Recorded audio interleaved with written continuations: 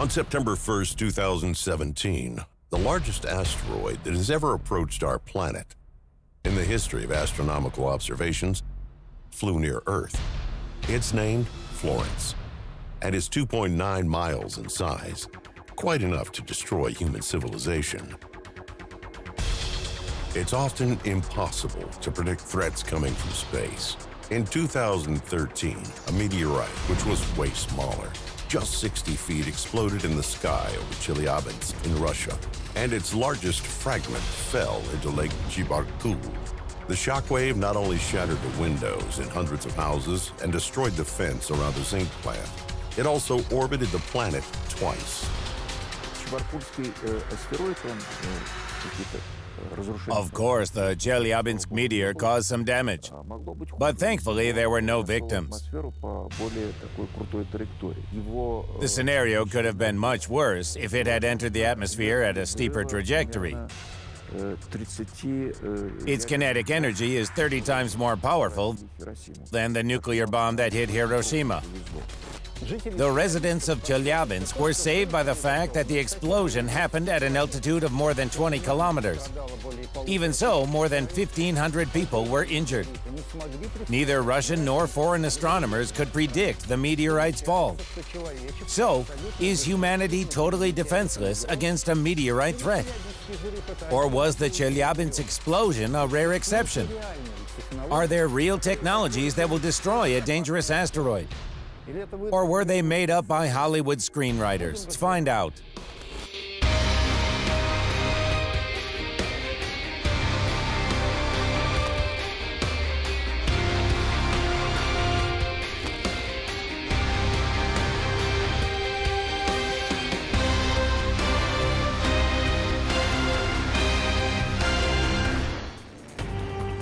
Incidents similar to the Chelyabinsk one occur quite frequently. In 1908, the Tunguska meteorite exploded in the sky above a dense forest. It was twice as big as the Chelyabinsk meteorite, and the shock wave knocked down trees within a 25-mile radius. This explosion can be compared to the most powerful hydrogen bomb in history, but the Tunguska meteorite is effectively the size of a pea compared to the many giants that threaten our planet from outer space. Before asteroids become meteorites, the scientific term given to cosmic objects falling to Earth, this is mankind's best opportunity to escape disaster. If you believe sci fi films, the military own a variety of technologies that can protect the planet from flying space rocks. But in order to fight a threat, it must be discovered in time. According to contemporary estimates, virtually all of the 30,000 meteorites found on Earth's surface appeared in the asteroid belt at some point in history. This is a region of the solar system located between the orbits of Mars and Jupiter. Most of these giant rocks are formed in the asteroid belt when falling to Earth. They are not just a bright light in the sky, they have the potential to be catastrophic to varying degrees. Many are influenced at times by Jupiter. First of all, they radically change their trajectory and begin to fly towards Earth. Such objects are called asteroids, approaching Earth. Scientists have discovered more than 100,000 asteroids, so why couldn't a telescope detect a cosmic object flying towards Earth?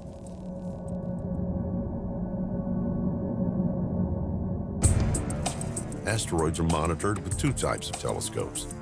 Firstly, with a survey telescope that gives a wider view.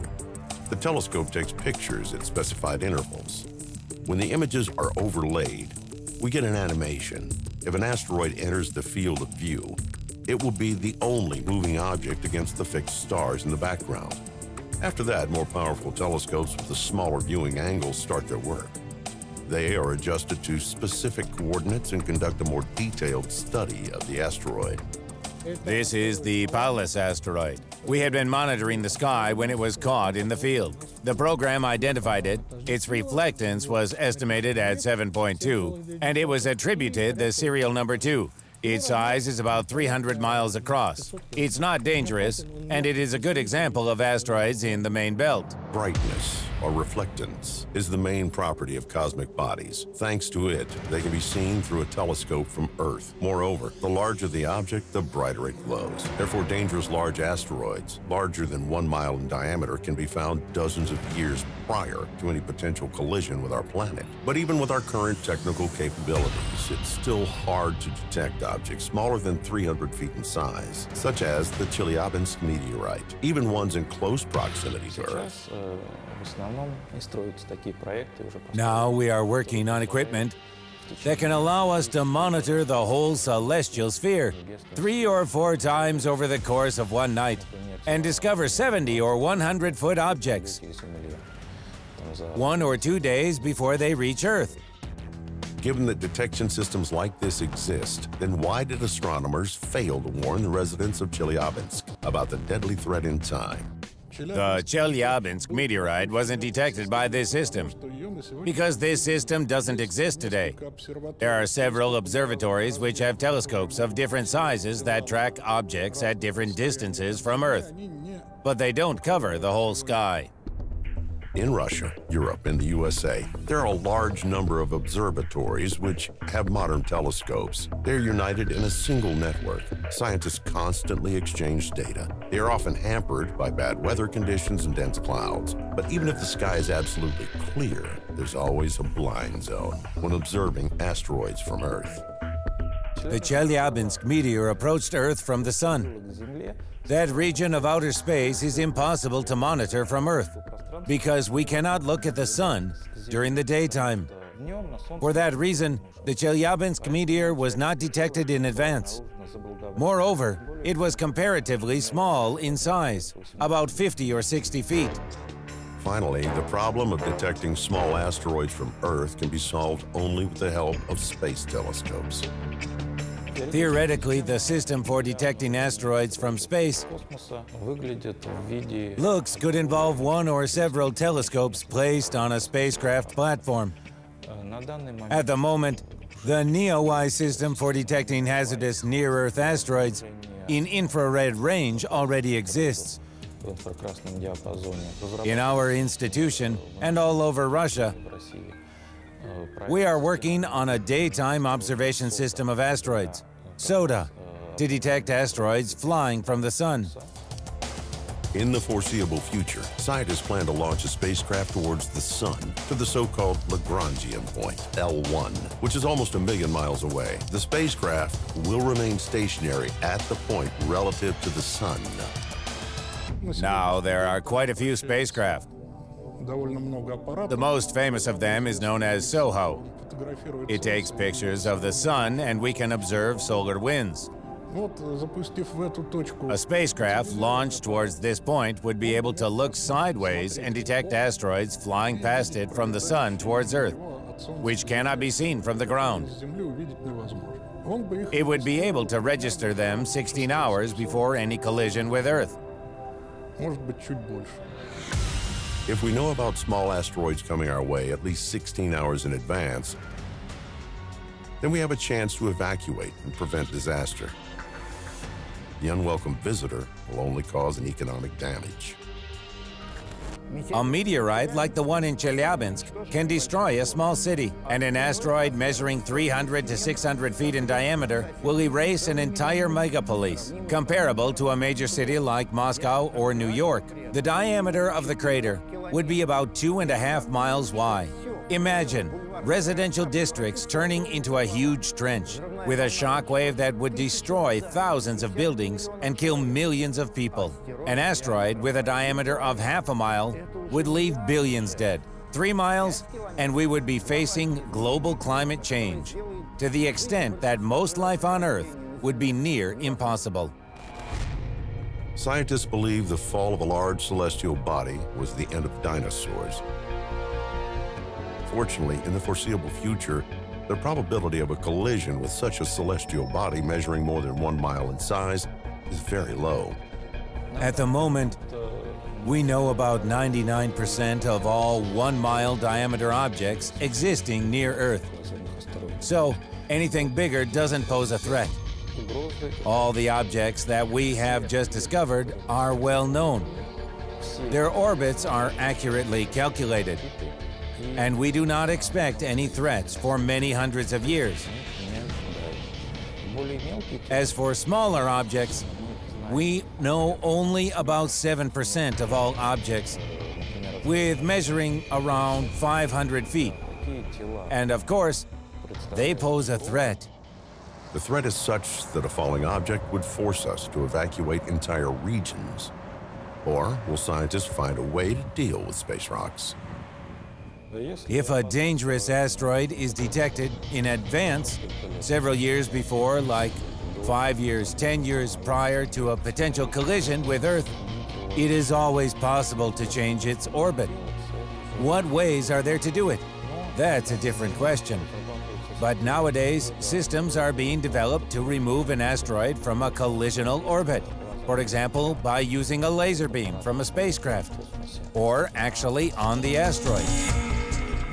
DE-STAR project in America has existed for 10 years. It plans the launch of a powerful laser gun with solar batteries into space. The batteries are just over a half mile long, so we'll have to assemble the gun in orbit, not on the ground. With the help of such a device, it is planned to influence asteroids with the help of a laser beam in the future. The orbit of a dangerous asteroid is supposed to be changed by evaporating the substance from the surface of the asteroid with a temperature of up to 3000 degrees Kelvin or 5000 degrees Fahrenheit. A huge space laser gun seems like something out of a sci-fi movie. But back in 2005, NASA, for the first time in history, attacked the comet Tempel 1, dropping a metal probe onto it. It rammed the surface, causing the release of matter weighing about 10,000 tons. All this was done to analyze the composition of the comet. But at the same time, it paved the way for an experiment called DART. It will help NASA experts understand how asteroids would behave if attacked by a metal shell about the size of a domestic refrigerator.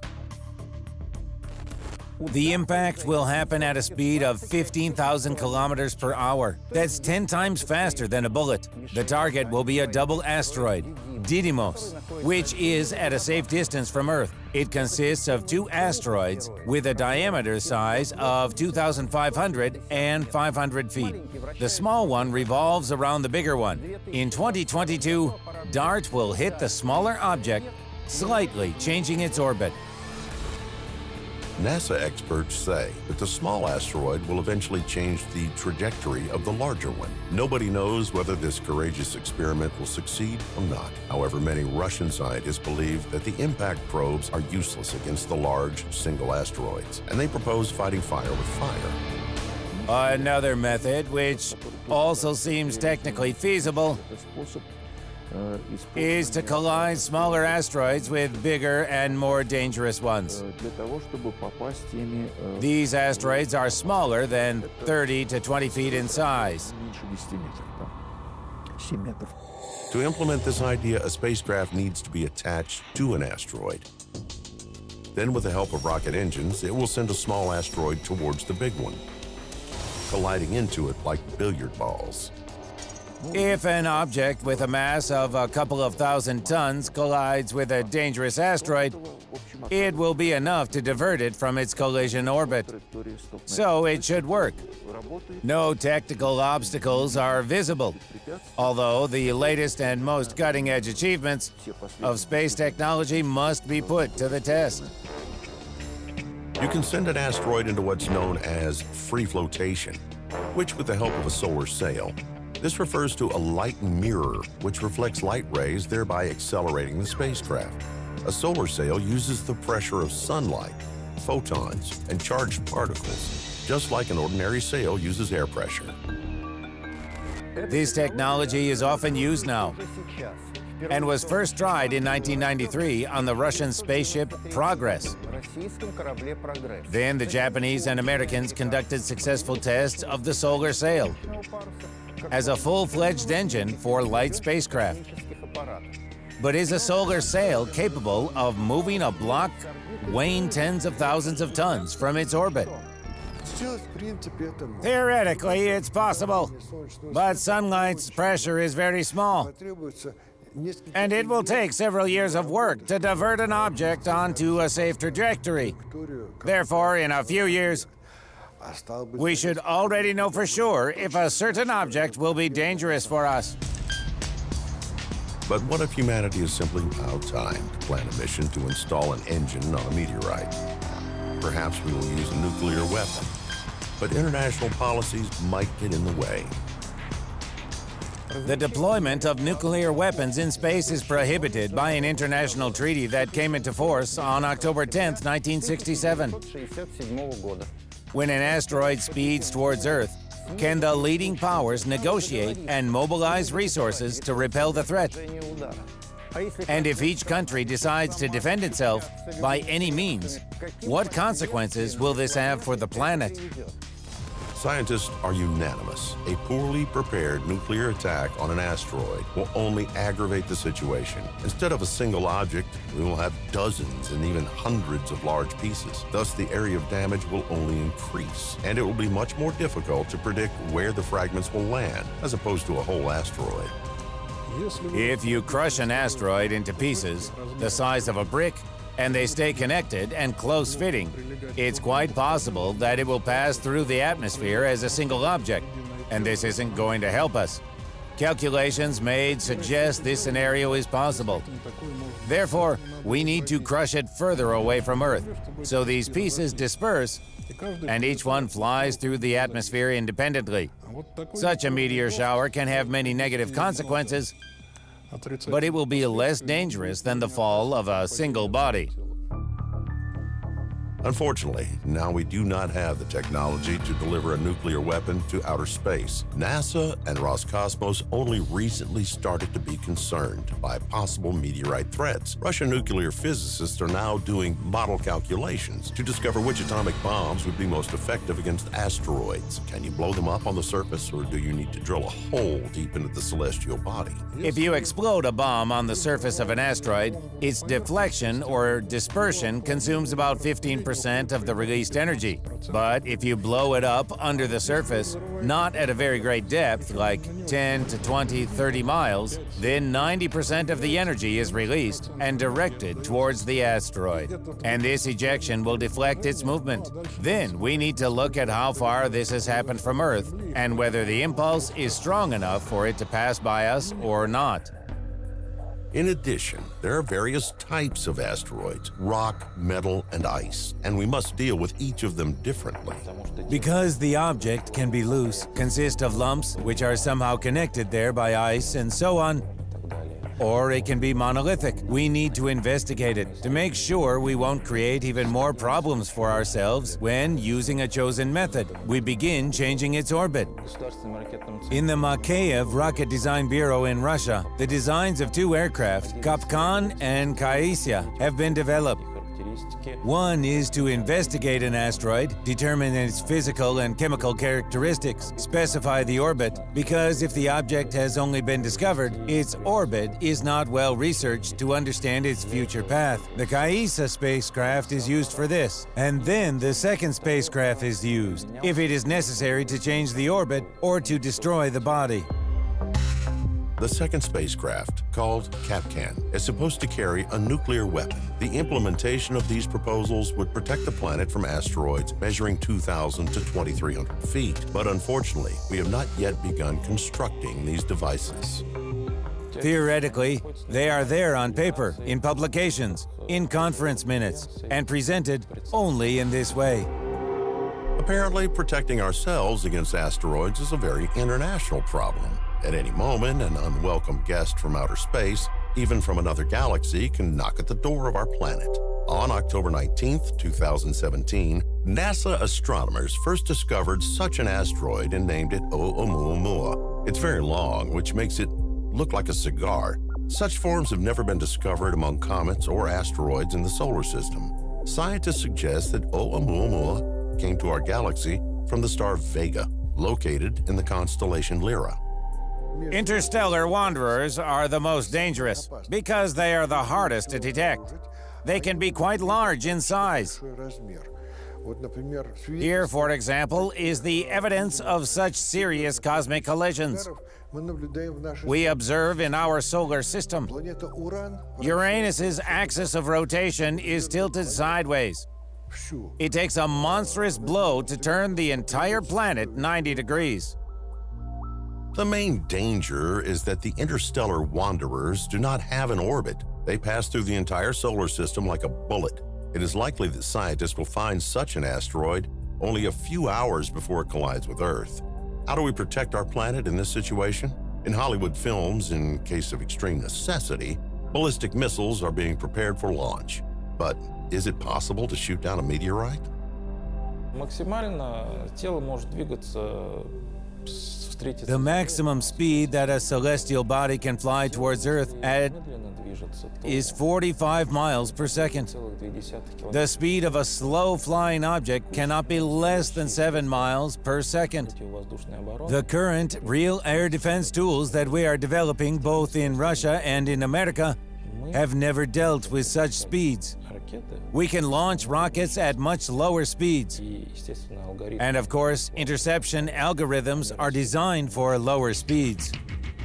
So even the most advanced missiles require modernization to fight against asteroids, which will take years. And perhaps in the future, the leading world powers should revise the ban on the withdrawal of nuclear weapons from space. Theoretically, an atomic charge will do for this task. But very specific missiles are needed. And maybe if they orbited Earth instead of being located on the ground, they would be better in terms of response speed and the distance at which they could detonate the asteroid. There's no need to waste fuel on launching the missile from Earth. It requires a lot. It turns out that we need time for implementation of all projects to combat asteroids but humanity might not have time on its side. Back in 2001, a group of American scientists published shocking calculations in the Journal of Spacecraft and Rockets. It turns out that humanity may simply not have enough time to organize an expedition and send it to destroy a large asteroid. Then we will have to find some other methods. We will have to use what the military already have on the ground. Such plots haven't even occurred to Hollywood screenwriters yet. However, we shouldn't be pessimistic. Earth is very unlikely to collide with any large asteroid in the next 100 to 150 years. And we can survive a collision with a smaller object. We must remember that if a 300 foot asteroid hit Earth and falls into an ocean or in a boreal forest, we can simply ignore it and refrain from action. If it falls into a densely populated area, we must evacuate. Of course, there will be a crater about 0.6 miles in size and severe destruction, and fires across a six mile radius. Well, it will be like a powerful atomic bomb, only without any radiation.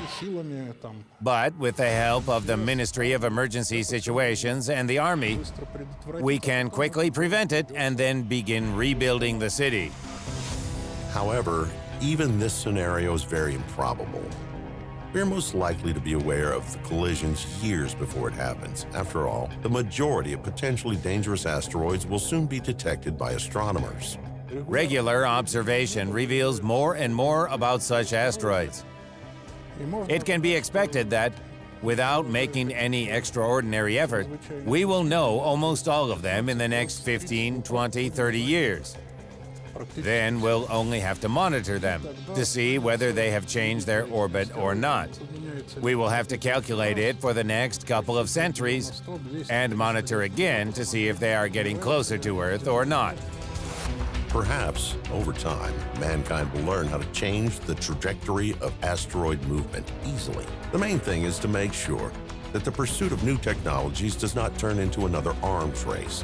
After all, nothing will prevent one side from turning the asteroid towards their enemy to cause a catastrophe on a huge regional scale.